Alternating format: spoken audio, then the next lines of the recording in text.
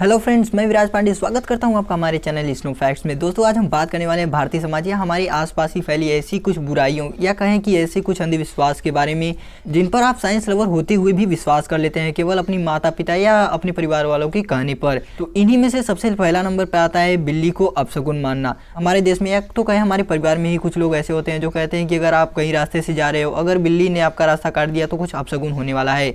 या तो सीधे शब्दों में कहें तो बिल्ली को अपशगुन ही माना जाता है। तो आइए आज जानते हैं कि बिल्ली को अपशगुन मानने का इतिहास कहाँ से शुरू हुआ और ये हमारे देश में कैसे आ गया और इतना विस्तारित रूप से हमारे देश में कैसे फैल गया। तो दोस्तों, आपको बता देना चाहता हूँ कि बिल्ली अपशगुन नहीं होती है। ये सिर्फ़ हमारे देश में या हमारे परिवार के लोगों द्वारा हमारे दिमाग में भर दिया जाता है बचपन से ही कि बिल्ली अपशगुन होती है। तो आइए सबसे पहले इसके इतिहास को जानते हैं कि आखिर बिल्ली के अपशगुन माने जाने का इतिहास कहाँ से शुरू हुआ। तो इस प्रथा को शुरू करने वाला सबसे पहला देश मिस्र था। यहीं पर सबसे पहले बिल्ली को अपशगुन माने जाने की प्रथा की शुरुआत होती है। ऐसा वहाँ के लोग इसलिए किया करते थे कि वहाँ पर एक देवी होती थी जिनका नाम बास था और ये लोग वहाँ उनकी पूजा भी किया करते थे।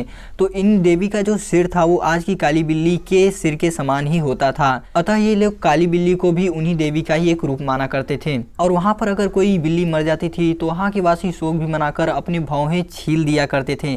इसके साथ साथ ही अगर कोई व्यक्ति वहाँ पर बिल्ली की हत्या कर देता था तो उसे भी मृत्युदंड ही दिया जाता था। इन्हीं कारणों से लोग बिल्ली को दूर से ही देखकर डर जाते थे क्योंकि उन्हें डर रहता था कि अगर अनजाने में उनके द्वारा बिल्ली की हत्या हो गई तो उन्हें भी मृत्युदंड दे दिया जाएगा।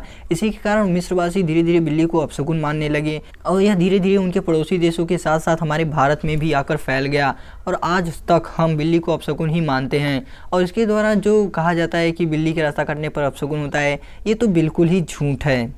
तो इस प्रकार बिल्ली को अपशगुन मानने से हमारी लाइफ में बहुत ज़्यादा भूचाल या तो कहें कि बहुत ज़्यादा नुकसान हमको हो जाता है। जैसे आप कहीं इंटरव्यू के लिए जा रहे हैं और रास्ते में ही आपका रास्ता बिल्ली ने काट दिया तो आप क्या करेंगे? रुक कर वहाँ पर किसी और के आगे बढ़ने का इंतज़ार करने लगेंगे। और आप जानते हैं कि इंटरव्यू में एक मिनट की भी देरी आपके इंटरव्यू में सफल होने की चांसेस को बिल्कुल ही कम कर देता है। और इसके साथ साथ ही अगर आप कहीं शहर में ज़रूरी काम से जा रहे हैं और जाते वक्त ही अगर आपके घर के आसपास या बगल में बिल्ली रोना शुरू कर दे तो आप वहाँ पर जाना बंद कर देते हैं। तो इस प्रकार मैं आपको एक फ्री में सलाह देता हूँ कि बिल्ली को अपशगुन मानना छोड़ दीजिए, नहीं तो आगे चलकर आपको इसके बहुत बुरे परिणाम देखने को मिल सकते हैं। दोस्तों, हमारी प्रकृति में बहुत सारे जीव जंतु हैं और उससे भी ज़्यादा हमारे जीव जंतुओं में विविधता है। अब हम बिल्ली से हटकर बात करने वाले हैं गिरगिट के बारे में। दोस्तों, गिरगिट हमारे समाज में बहुत ज़्यादा प्रसिद्ध है और इसके चलते एक कहावत और भी है कि, क्यों गिरगिट जैसा रंग बदल रहे हो? तो ये गिरगिट अपना रंग कैसे बदलता है? तो आइए जानते हैं कि गिरगिट अपना रंग कैसे बदल लेता है।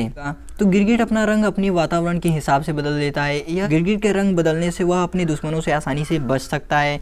इसके साथ साथ ही अगर हम बात करें गिरगिट अपना रंग बदलता कैसे तो इन गिरगिट के शरीर में क्रोमाटोफोरस नाम का एक सेल होता है, जो कि मस्तिष्क के द्वारा कंट्रोल होता है। तो जब भी मस्तिष्क को कोई भी खतरा महसूस होता है तो वह सेल को सिकुड़ने और फैलने का आदेश देता है। तो क्रोमाटोफोरस में भूरे, पीले, काले और सफ़ेद रंग के रंजक होते हैं, जो कि परत दर परत और गिरगिट के त्वचा पर उपस्थित होते हैं और जैसे ही गिरगिट फैलना शुरू करता है, ये रंजक ऊपर की ओर उभर आते हैं और ये अपना रंग आसानी से बदल लेते हैं। और यह आसानी से आसपास के माहौल में, हरे पत्तियों में, हरे रंग के और अन्य प्रकार के रंगों में, अन्य प्रकार के जैसे भूरे, पीले, काले अथवा सफ़ेद में से किसी भी रंग में अपना रंग बदल लेते हैं आसानी से। दोस्तों, अगर आपको ये वीडियो पसंद आई हो तो वीडियो को लाइक करें, अपने दोस्तों के साथ शेयर करें हमारे चैनल स्नो फैक्ट्स को सब्सक्राइब करना भी ना भूलें।